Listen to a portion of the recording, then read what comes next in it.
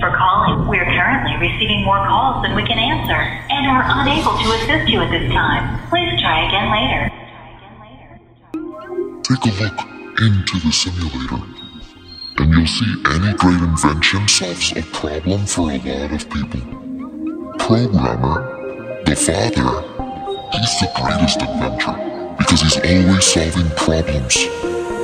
Our trials are problems. Take any a video game, and they'll show you the easy levels first, and then they start to show you the harder levels where you start to fail. It's where the real game starts.